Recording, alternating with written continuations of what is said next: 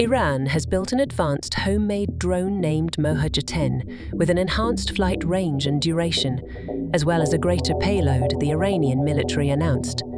The drone has an operational range of 2,000 km and can fly non-stop for up to 24 hours. Its payload can reach 300 kg and also capable of intelligence gathering and electronic warfare operations.